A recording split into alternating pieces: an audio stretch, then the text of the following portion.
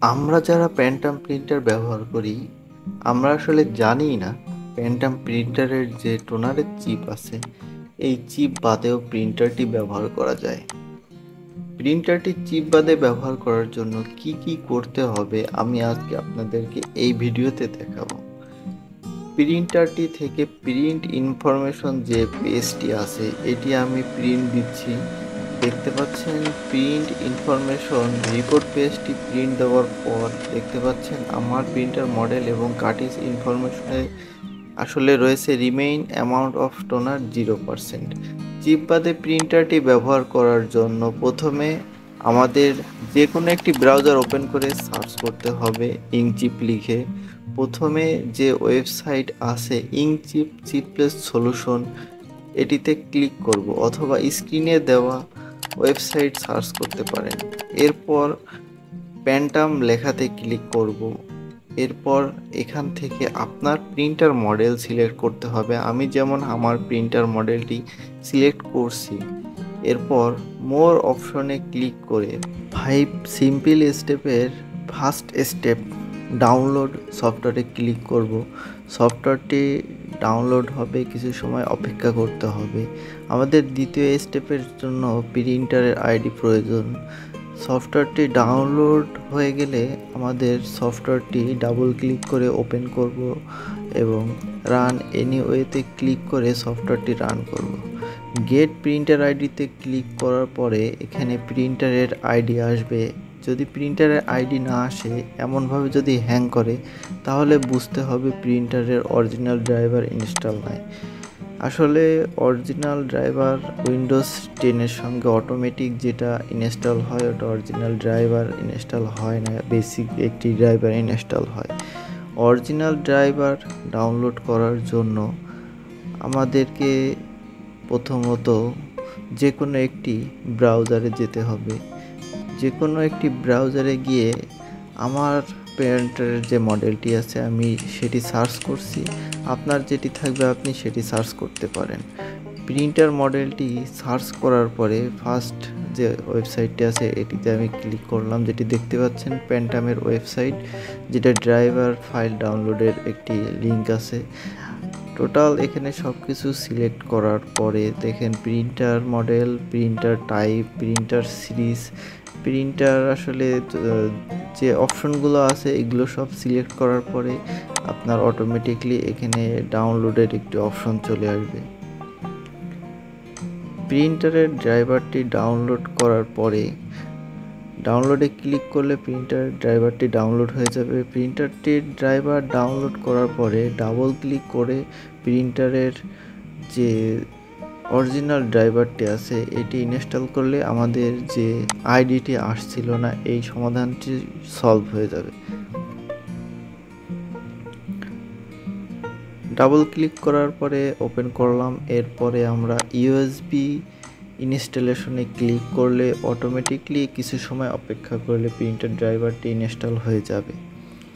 Printer ড্রাইভারটি install হয়ে গেলে আমাদের তৃতীয় স্টেপটি হচ্ছে visit the web page and input the code লিঙ্কে ক্লিক করতে হবে।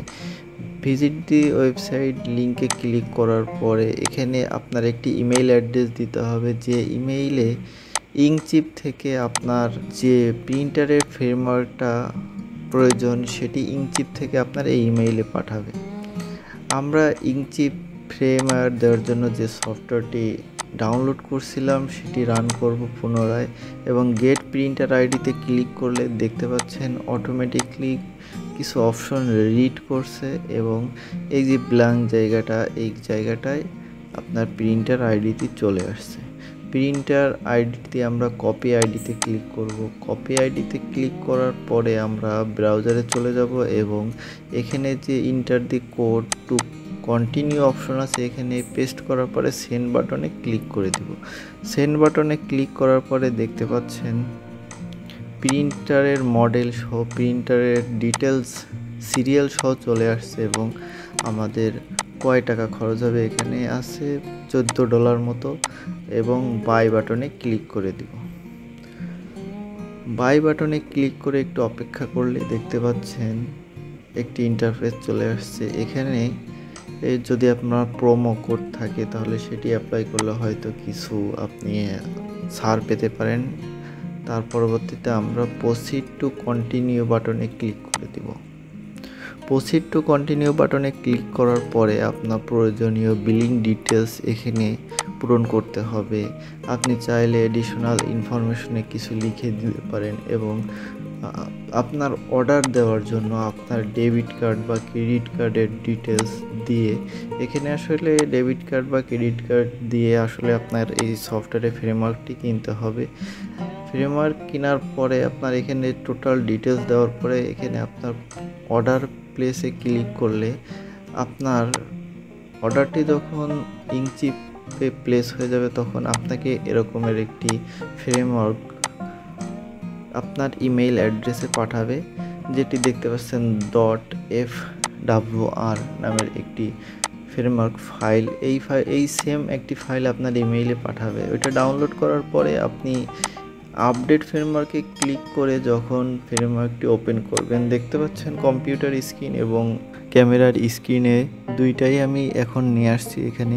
দেখতে পাচ্ছেন আপডেট ফ্রেমওয়ার্কে ক্লিক করার পরে আপনার এখানে your printer is reboot option যখন দেখাবে তখন প্রিন্টারের যে স্ক্রিন আছে এখানে আপনার আপডেট স্টার্ট বাটনে ক্লিক করলে একটু কিছুক্ষণ অপেক্ষা করতে হবে ফ্রেমওয়ার্ক আপডেটিং লেখা আসবে নো শাটডাউন লেখাটি চলে আসছে। প্রিন্টারটি কোনোভাবেই অবস্থায় বন্ধ করা যাবে না। টোটাল আপডেট হয়ে যাওয়ার পরে লেখা আসবে প্রিন্টার রিস্টার্ট। তখন পাওয়ার বাটনটি আপনি কিছু সময় চেপে ধরলে প্রিন্টারটি অফ হয়ে যাবে এবং পুনরায় পাওয়ার বাটনে প্রেস করে প্রিন্টারটি রান করতে হবে। দেখতে পাচ্ছেন, প্রিন্টারটি হান্ড্রেড পারসেন্ট রেডি হয়ে গেছে। চিপ লেস হয়ে গেছে প্রিন্টারটি। এরপরে আমি প্রিন্ট ইনফরমেশনের যে রিপোর্ট পেজটি আছে, এটি আমি প্রিন্ট দিচ্ছি, দেখতে পাচ্ছেন? যেমনটা প্রিন্ট দিচ্ছি, প্রিন্টারের প্রিন্ট ইনফরমেশনের যে পেজটি আছে, এটি প্রিন্ট রিপোর্ট যেটা কার্টিজ ইনফরমেশন আছে, কার্টিজ রিপোর্ট ইনফরমেশনে দেখতে পাচ্ছেন remaining amount of toner hundred percent হয়ে গেছে। এই প্রিন্টারটি টোটালি চিপলেস হয়ে গেছে। আপনারা চাইলে এভাবে প্যান্টাম প্রিন্টার বা যে কোনো ধরনের প্রিন্টার চিপলেস করে ব্যবহার করতে পারেন।